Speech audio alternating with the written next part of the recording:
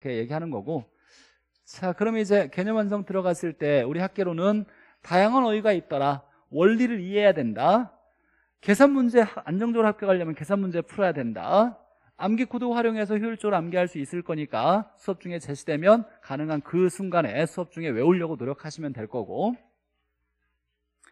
자, 학습 계획에서 11월, 12월 달에 어, 11월, 12월. 이렇게 입문 과정에서는 개념하고 용어를 정리할 건데 이제 부동산에 대한 용어들이 많이 등장하겠죠. 이런 걸 내가 아는 단어도 있을 거고 모르는 단어도 있을 거야. 이런 걸 계속 제가 얘기할 거예요. 나올 때마다 내가 모르는 게 있다라면 머릿속에 좀 이해하고 암기하려고 노력하셔야 돼요. 단어를 알아야 뭔가를 이해할 거니까 문장을. 그래서 용어 정리를 많이 해줄 거고 기본 개념을 중시로 할 거고 시험에 출제되는 반드시 100%에 거의 100% 거의 100% 출제되는 내용들만을 중심으로 해서 기출문제까지 풀어내려고 11월, 12월 달에 공부한다는 거. 모든 처음부터까지 공부하지는 않고 가장 중요하고 나중에 이제 이해가 필요한데 나중에는 내용량이 많다 보니까 자세하게 설명할 시간이 마땅히 없어요. 그러니까 먼저 이렇게 11월, 12월 달에 여유가 되는 시간 동안에 이해가 필요한 내용들을 중심으로 수업이 일어날 거예요. 이루어질 거고.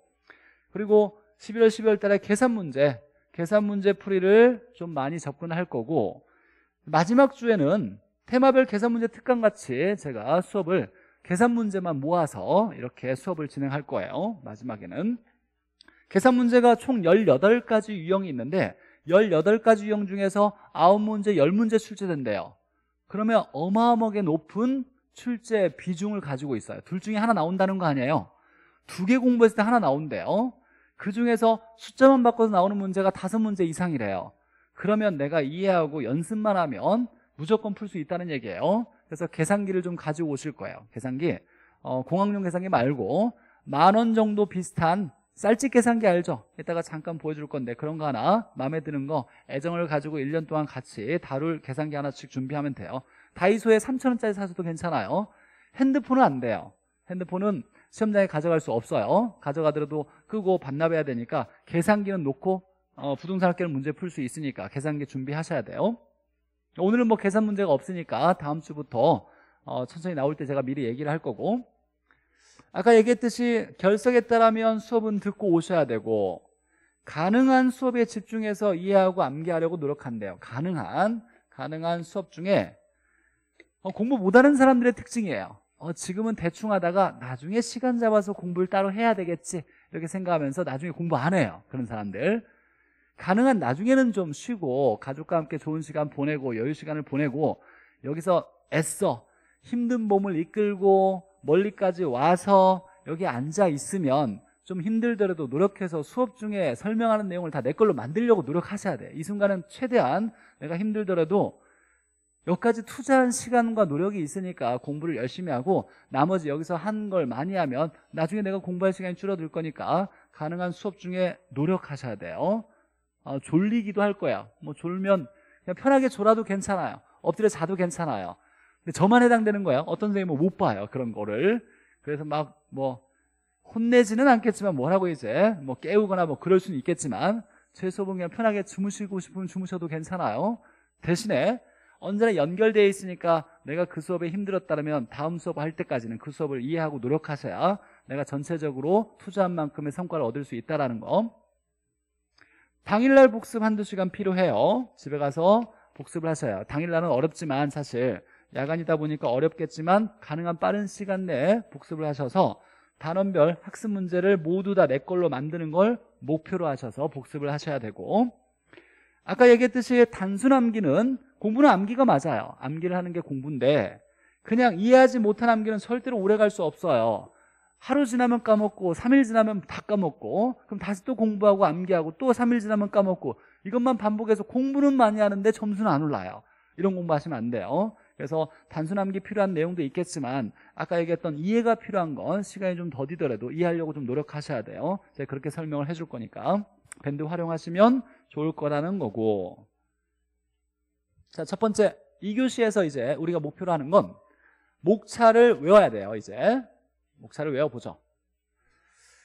자 1단원부터 8단원까지 이렇게 구성되어 있는데 어, 우리 이제 11월 12월 달에는 경제론을 중심으로 공부할 거예요 경제론. 얘를 공부하고 시장론을 일부 배우고 투자론을 많이 공부하고 금융론을 일부 배우고 이렇게 공부할 건데 얘는 노란색이 안 칠해져야 되는데 잘못 체크한 거네요. 그래서 우리가 이제 11월 12월 때 이렇게 네 단원을 조금씩 공부할 거고 좀 비중을 두는 것은 경제론과 투자론을 어려운 단원을 네, 이해하면서 공부를 할 거예요.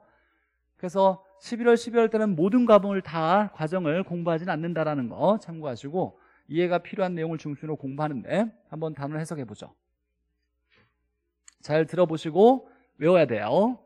이해하고 외워야 된다는 얘기를 지금 이제 한번 실행을 해볼 건데 보죠. 부동산 학이래요. 부동산과 관련된 학문이라는 얘기예요. 우리가 부동산 얘기하면 토지 부동산인가요? 건물 부동산이에요. 그러면 부동산과 동산의 차이는 뭐냐면 동산은 움직일 동자를 쓰니까 움직이는 자산을 동산 부동 움직이지 않는 자산을 부동산이라 그래요. 움직이지 않는 거 토지 움직이지 않고 건물도 움직이지 않으니까 부동산이에요. 나무는 움직여요? 안 움직여요? 안 움직이니까 나무도 부동산이에요. 그런 건 토지에 붙어져 있는 물건을 정착물이라는 말을 쓰는데 대표적인 정착물이 나무예요. 이런 것들은 다 부동산이에요. 그러면 부동산과 관련된 학문에서는 부동산이 뭔지 부동산의 개념은 어떻게 접근하는지 그럼 부동산의 성질들이 있겠죠 대표적으로 토지의 성질들이 있어요. 한번 예를 한번 들어볼게요. 토지는 만들 수 있을까요? 만들 수 없죠? 만들 수 없어요? 만들 수 없어요.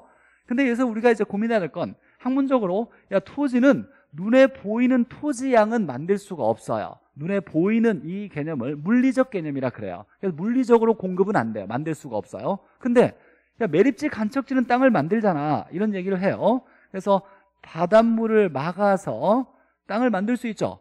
이건 눈에 보이는 땅을 만든 게 아니에요. 원래 물 아래 땅이 있었어요? 있었어요 없었어요? 있었으니까 땅이 있었죠. 그러니까 물이 고여 있겠죠. 바다 아래 땅이 있어요. 근데 땅은 있었지만 물이 있어서 이용을 못했던 걸 물을 막아서 쓸 수 있는 토지양은 늘릴 수가 있어요. 이건 땅을 순수한 땅을 만든 것이 아니라 원래 있던 땅을 못 썼던 걸 쓸 수 있게 바꾼 거죠 이런 걸 용도를 바꿨다 그래요. 사용하는 방법을 용도라 그래요. 그래서 용도를 바꿔서 쓰지 못했던 걸 쓸 수 있는 땅으로 바꾼 것을 용도적 공급이라 그래요. 그럼 이제 우리가 공부할 건 야, 토지는 물리적 공급은 안 돼. 물리적으로 만들 수는 없어. 다만 용도를 바꿔서 쓸 수 있는 땅은 늘릴 수가 있네. 이런 용도적 공급은 가능해. 이렇게 얘기할 수 있는 거예요. 뿐만 아니라 토지는 만들 수도 없고 움직이지도 않아요. 부동성을 가지고 있고 움직이지 않고 없어져요 안 없어져요. 지구가 있는 한 없어지지 않아요. 소모되지 않아요. 없어지지 않는다. 영원히 불변이 계속 간다. 영속성을 가지고 있어요. 이 특징은 토지는 없어지지 않으니까 가치 보존력이 우수해요. 그렇게 얘기할 거예요. 없어지지 않으니까 가치가 물론 가격은 좀 변하겠죠. 그래 가치가 오랫동안 남아요. 그래서 은행에서 담보 잡혀서 대출을 해주는데 용이해요. 저당 담보 가치가 높아요.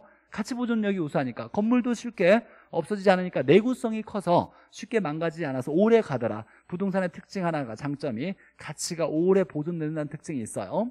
같은 건 없어요. 다 다르다를 개별성이라 그래요. 그래서 부동산학에 대해서는 부동산이 뭔지 관련된 학문의 전체 이론을 배우는 것을 총론이라 그래요. 여기서 배우는 건 부동산의 개념 부동산의 개념이나 부동산이 뭔지를 배우거나 부동산의 성질, 특성이 뭔지 부동산은 어떻게 분류되는지 이렇게 부동산에 대해서 배우는 것이 총론이에요. 필기는 굳이 안 해도 괜찮아요. 우리 이제 선생님들 중에 필기하지 말라고 막 이렇게 막 야단치는 선생님도 계실 수 있어요. 이건 옛날 공부 방법이에요. 옛날에는 한번 칠판에 적고 지워버리면 다시 못 보니까 내가 옮겨 적어서 다시 또 집에서 공부하려고 필기를 했는데 지금은 동영상만 딱 틀으면 이 화면이 딱 나와요 그러면 그 화면 보면 돼요. 굳이 내가 적을 필요가 없어요. 적는 이유는 다시 보려고 필기는 할 수 있어요. 아, 내가 공부할 때 이건 몰랐으니까 체크해놓고 다시 집에서 공부해야 되겠다. 이렇게 적어놓는 거. 이런 간단한 단서나 이런 개념 같은 건 정리할 필요 있지만 그대로 판서를 옮겨 적는 건 그건 의미 없어요. 그냥 수업을 듣고 머릿속에 이해하면 돼요. 필요한 교재는 때가 되면 선생님이 다 준다 그랬어요. 열심히 설명 듣는 게 중요해요. 설명 듣는 걸 우선시해야 되는 거고 부동산에 대한 전체 이론을 배우는 것이 총론이고 두 번째 이제 경제론인데 중요한 단어죠. 경제. 이 경제로는 자, 우리가 이제 경제 활동이라는 게 있는데 경제 활동은 뭘 얘기하냐? 물론 부동산을 대상으로 하는 거예요. 부동산에 대한 경제 활동은 부동산을 대상으로 하는 수요와 공급을 얘기해요. 사고 파는 걸 경제 활동이라 그래요. 그래서 부동산의 경제 활동, 부동산의 경제 활동은 수요 공급, 부동산을 사고 파는 거, 매매하는 걸 얘기하는 거예요. 그러면 경제 활동이 일어나는 공간이 있겠죠. 경제 활동 예를 들면 김포시장에 김포시에서 아파트를 사고 팔고 할 거예요. 그러면 김포시장에 아파트 시장이 있을 거예요. 이걸 뭐라고 하냐면 수요 공급이 일어나는 공간을 공간을 시장이라 그래요. 그래서 수요 공급이 일어나는 공간은 부동산 시장이다라고 얘기하고 경제 활동의 정도도 있을 거예요. 매매가 많이 일어날 수도 있고 적게 일어날 수도 있죠. 경기가 많이 좋으면 이걸 우리가 경기라고 얘기하는데 매매가 많이 일어나면 경기가 좋다. 매매가 적게 일어나면 경기가 나쁘다, 불황이다 이런 얘기할 거예요. 이거의 정도를 경기라고 그래요. 경기는 가만히 있어야 변해요. 변하겠죠. 경기 변동 유형 같은 걸 배울 거예요. 자, 그럼 이제 단어가 경제라는 단어에 수요 공급을 연관 지을 수 있어야 돼요. 왜냐하면 수요 공급이 경제 활동이니까 그래서 수요 공급이 일어나는 공간을 시장이라고도 얘기하고 이 수요 공급의 정도를 경기라고도 얘기한다라는 게 우리 학기론에서 시험 볼 때까지 문제에서 한 수백 번 여러분이 관련 지어서 풀어낼, 풀어내야 될 단어예요. 이렇게 다 연관되어 있어요. 경제, 수요 공급, 시장과 경기 이렇게. 그럼 만약에 학기론을 공부할 때 시장을 분석한대요. 시장을 뭔가 분석한대요. 언젠가 또 공부하다가 나올 거예요. 그럼 뭘 분석하는 거예요? 수요와 공급을 분석하는 거예요. 수요자가 많으면 가격이 오를 거고 수요자가 없으면 가격 내려갈 거고 이런 것들을 배우는 거예요. 그럼 내가 만약에 부동산을 개발하려 그래요. 그러면 돈을 벌어야 개발하는 거죠. 그럼 미래 돈을 더 벌 거냐라는 걸 따져볼 때 시장을 분석해야 돼요. 그럼 미래 수요와 공급이 어떻게 될 거냐 이걸 얘기하는 거예요. 그럼 시장 분석은 수요 공급 분석하는 거고 시장의 위험도 있을 수 있어요. 내가 만약에 개발해서 팔려고 하는데 수요자가 없으면 비싼 가격을 못 팔죠. 이러면 개발해서 돈을 못 벌 거예요. 그러면 개발할 때 위험이 따질 건데 이런 위험을 시장 위험이라고 얘기하는 거예요. 수요 공급이 뭔가 불균형을 이루어 가지고 내가 원하는 만큼 얻지 못할 때 그때 위험을 시장 위험이라 그래요. 결론은 수요 공급 관련되면 시장이란 말을 쓴다라는 얘기예요. 이렇게 그래서 연결돼 있어요. 경제로는 그래서 수요와 공급이 경제학적으로 원리가 뭔지를 배우는 것이 이게 경제론이에요. 수요와 공급의 원리를 배워요. 자, 그 다음에 시장론이 있는데 야, 수요 공급의 원리를 배웠으면 부동산을 대상으로 수요 공급이 일어나는 공간이 있었죠. 이걸 뭐라고 해요? 시장이라 그래요. 그러면 수요 공급이 일어나는 공간, 시장에 대해서 배우는 것이 시장론이에요. 그럼 이제 우리 부동산 시장에서 부동산이 수요 공급이 일어날 거예요. 우리 부동산 시장이 어떠한지를 이제 배우는 거예요. 그러면 말 그대로 우리 부동산 시장은 완전 경쟁 시장일까요? 불안정 경쟁 시장일까요? 완전하진 않겠죠? 느낌상 불안정 경쟁일 거예요. 불안정 경쟁 시장이어서 여러 가지 불안전한 요소가 많을 거예요. 부동산의 특징상 불안전하게 될 수밖에 없는 요인들이 많이 있어요. 이런 것들을 배우는 것이 시장론이에요. 불안전하다, 경쟁이. 그러면 경쟁이 불안전하다는 건 뭐냐면 누구나 다 살 수 있고 누구나 다 똑같은 기회가 주어져서 팔 수 있다라면 이건 완전하게 경쟁이 일어나는 건데 우리 부동산 시장은 그렇지 않아요. 예를 들면 이런 거죠. 우리나라의 인구가 딱 100명이 있다고 해보죠. 100명, 100명 있는데 주택의 수는 103개 정도 돼요. 인구수보다 주택수가 더 많아요, 실제. 근데 내 집을 갖지 못한 사람이 많죠. 집은 한 사람당 하나가 필요한 거예요. 근데 왜 그러냐? 불안전하기 때문이에요. 그럼 왜 그런 일이 일어났냐? 불안전하다는 건 독과점이 일어났다는 거예요. 살 집은 하나면 충분한데 투기적 요소로 한 사람이 10개, 20개 이렇게 차지하고 있다 보니까 필요한 사람이 집을 못 구하는 거예요. 이런 시장에 대한 특징이 뭔지를 배우는 것이 시장론이에요. 그럼 이제 정부 입장에서 야 시장을 봤더니 이게 불안전한 요소가 너무 많아요. 불안전하게 경쟁이 일어나고 독과점이 일어나가지고 투기가 많이 발생하고 이러다 보니까 정부는 가만히 있지 않겠죠.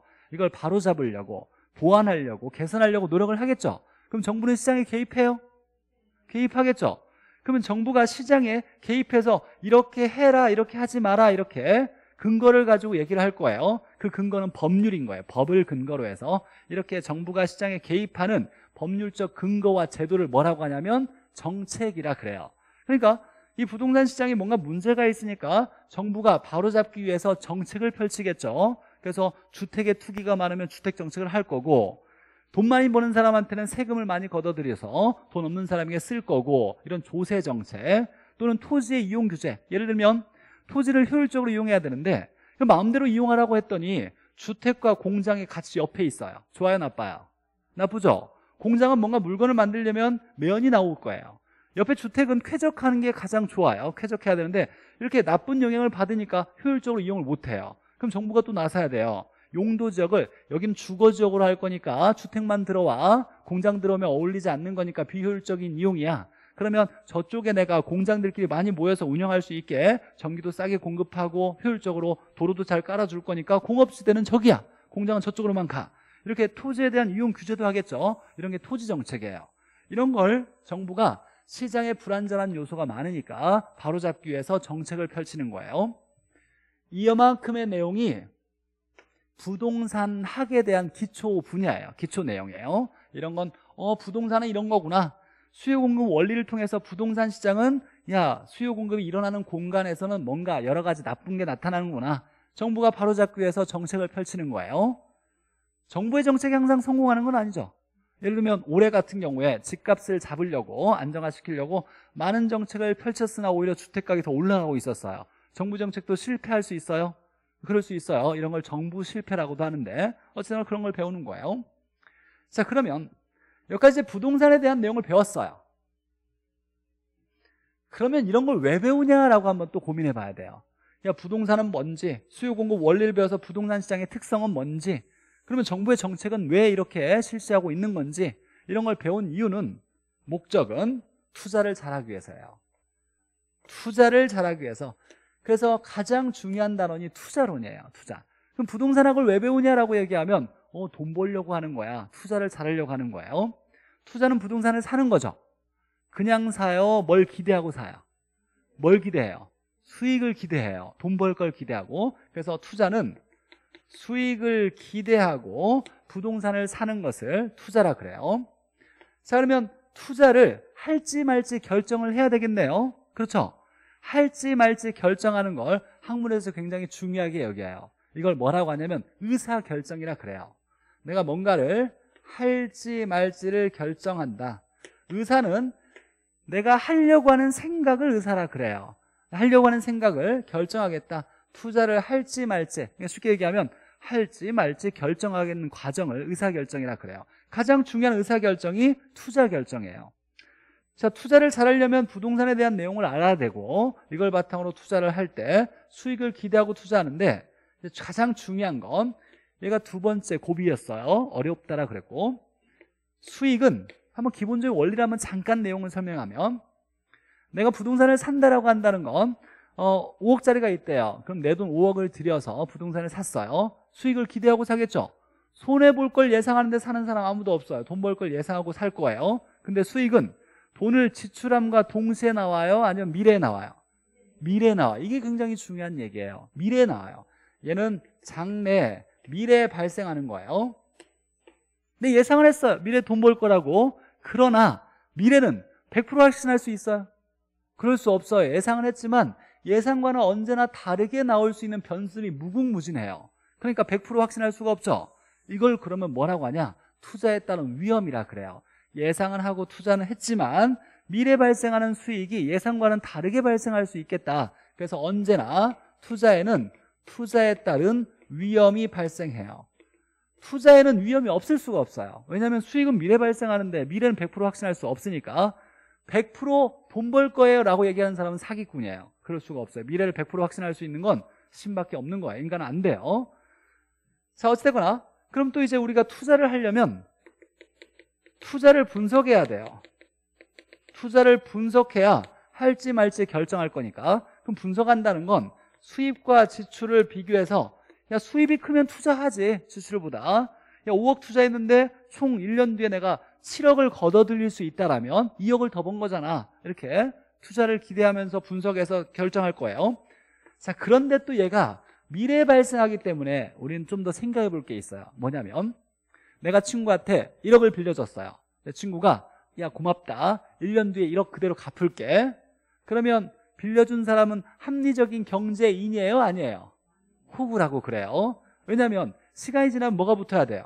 이자가 붙어야 돼요. 우리가 아무 위험이 없이 돈을 투자하는 건 은행에 맡기는 거예요. 은행에 맡기면 시간만 지나면 뭐가 붙어요? 이자가 붙어서 금액이 커져야 돼요 돈이라는 건 시간이 지나면 금액이 커지게 돼 있어요. 무조건이에요. 무조건. 그러니까 똑같은 1억이라는 가치가 현재 1억은 미래의 시간이 되면 금액이 더 커져야 똑같은 가치를 가지는 거예요. 화폐는 시간에 따라 가치가 달라지는 거예요.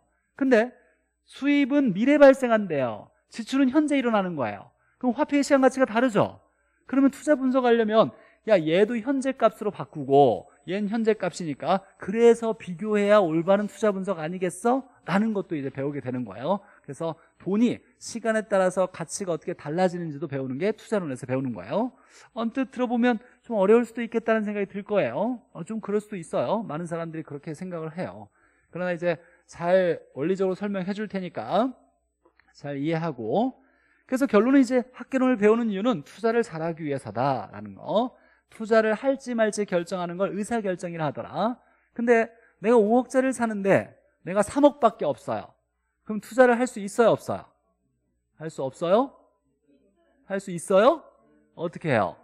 대출 받으면 되죠. 맞아요. 부동산은 담보대출 해주니까. 물론 담보대출 아니더라도 돈을 마련할 수 있죠. 어떤 방법을 통해서. 그걸 뭐라고 하냐면 자금을 융통했다라고 그래요. 융통은 조달을 얘기하는 거예요. 이걸 줄여서 뭐라고 하냐면 금융이라고 그래요.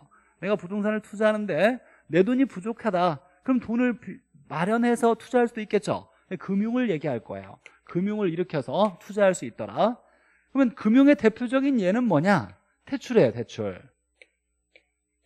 그래서 대출하는 것과 관련되어서 이제 배우게 되는 것이 금융론이에요. 또는 돈이 어떻게 흘러가는지를 배우는 거 자금의 흐름 같은 걸 배우는 게 금융론에서 배우는 거예요. 기본적으로 상식적으로 주택담보대출이 있어요. 주택을 담보로 돈 빌리는 거죠 그러면 나라에서 원하는 만큼 다 빌려주지 못하게 해요. 나라에 이제 금융정책이라는 게 있어요. 야 주택 투기가 많이 나니까 돈 많이 빌려주지 마라고 정하는 기준들이 있는데 주택담보대출의 대출 규모를 정하는 기준이 뭐예요? 뭐 들어봤을 거예요. LTV와 DTI죠. DTI보다 좀 더 강력한 DTI 일종인 DSR을 지금 쓰고 있어요 이런 것들은 뭔지 배우게 되고 빌렸으면 갚아야죠. 갚는 걸 상환이라 그래요. 상환 방식도 배우고 갚을 때 얼마씩 돈을 내야 되겠냐? 이것도 계산을 해볼 거예요. 이런 것들을 배우는 것이 금융론이에요. 투자할 때 내 돈만 가지고 투자하지 못하니까 자금을 융통할 수도 있지. 이걸 금융이라 그래요. 자 부동산을 개발하는 거. 자, 개발은 농사 짓는 걸 개발이라 하지 않아요. 부동산을 개발하는 건 건물을 지을 수 있게 토지를 조성을 해야 돼요 조성한다는 건 기본적으로 용도 전환이 필요한 경우가 있어요. 건물을 지을 수 있는 땅을 택지라 그래요. 택지, 택지. 공법에서는 대지라고 하는데 택지나 대지가 돼야 건물을 지을 수 있고 건물을 지을 수 있다고 해서 내 마음대로 다 지을 수는 없어요. 나라에서 용도 지역에 의해서 야 어떤 건물은 되고 어떤 건물은 안 돼. 이렇게 정해져 있어요.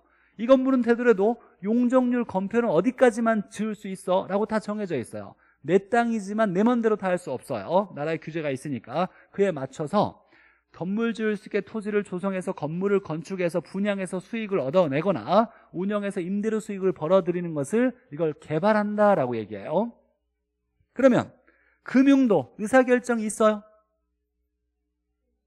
할지 말지 결정하는 과정이 있어요?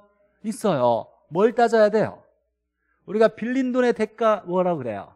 이자 이자 이자율을 따져야 돼요 내가 돈을 빌렸는데 빌린 돈의 대가 이자율이 5%예요. 이자를 5% 줘야 돼요. 근데 이 돈을 가지고 투자했더니 3%밖에 안 나와요. 그럼 빌리면 이익이에요 손해요. 손해요. 그럼 빌리면 안 돼요. 5%를 빌렸지만 야 이걸 가지고 투자했더니 10%가 나왔어요. 그럼 빌려서 투자하면 좋겠죠? 이런 걸 뭐라고 하냐면 지렛대 효과를 얻었다. 레버리지 효과를 얻었다라고 그래요. 그러니까 금융을 할 때도 무조건 돈 빌리는 것이 아니라 빌렸을 때 좋은지 나쁜지를 따져봐서 의사결정을 해야 돼요. 빌릴지 말지를 결정할 거고 개발도 의사결정 있어요.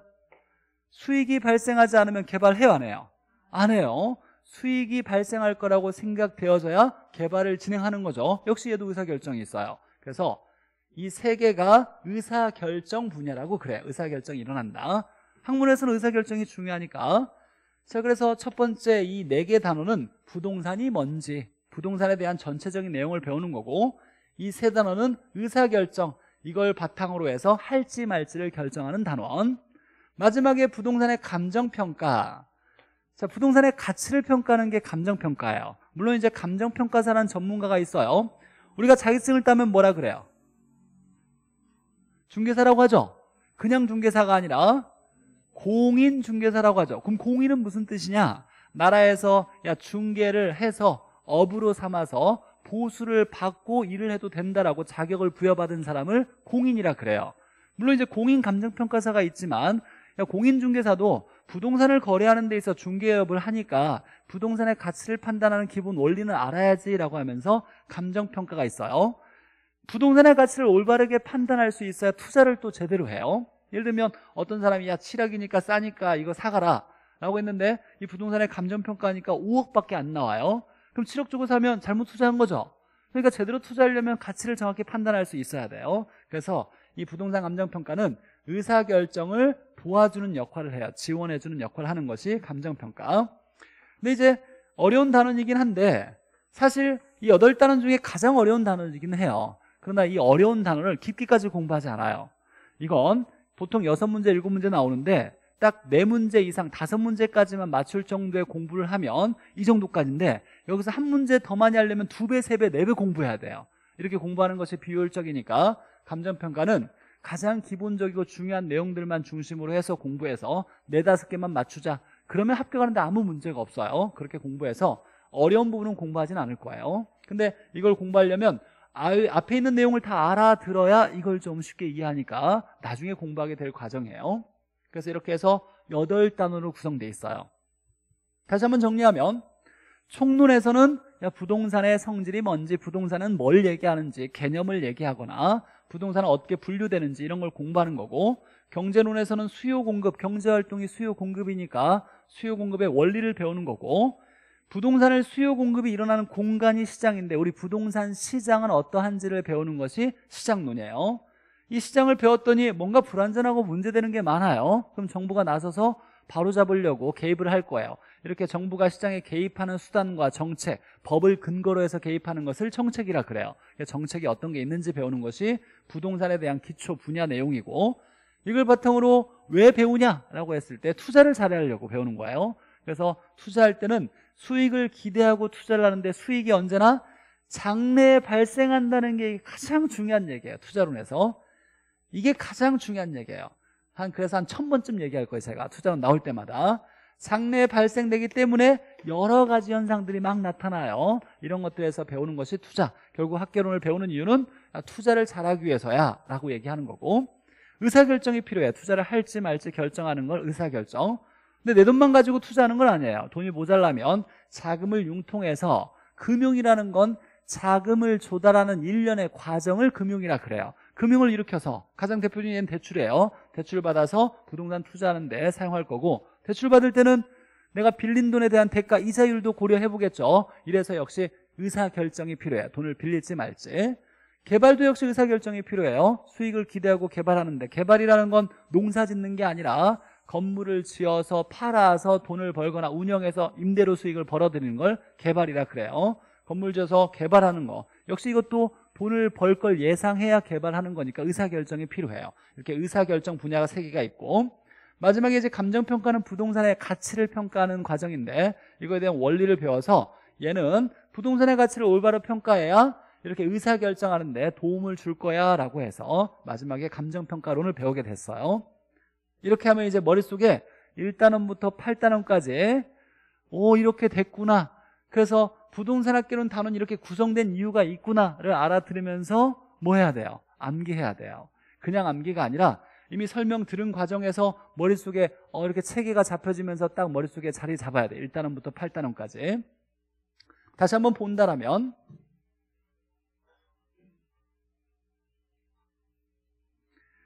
자, 첫 번째가 부동산은 뭔지 부동산학 총론을 배우는 거고 경제론 수요 공급의 원리를 배우는 거예요. 수요와 공급의 원리 이것과 관련되어서 파생되는 여러 현상들이나 원리를 배우는 거고 부동산을 대상으로 수요 공급이 일어나는 공간을 뭐라고 한다? 시장.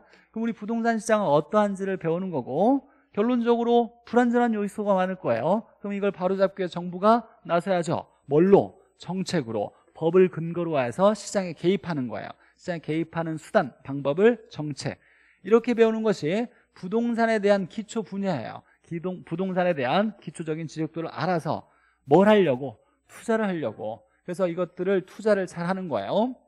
투자는 수익을 기대하고 투자를 하는 거죠. 근데 이 수익은 장래 발생하는 거고 할지 말지를 결정하기 전에 투자를 분석할 거예요. 수입과 지출을 따져서. 그래서 의사결정이 필요해서 얘는 의사결정 분야라고 하고 부동산을 투자하는데 내 돈이 부족하다면 자금을 마련해야죠. 이 마련하는 과정을 금융이라 그래요. 그래서 금융, 가장 대표적인 예로 대출 받는 거죠. 그래서 투자하는데 남의 돈을 활용해서 투자할 수도 있더라. 자금을 조달하는 과정, 금융에 대해서 배우는 거예요.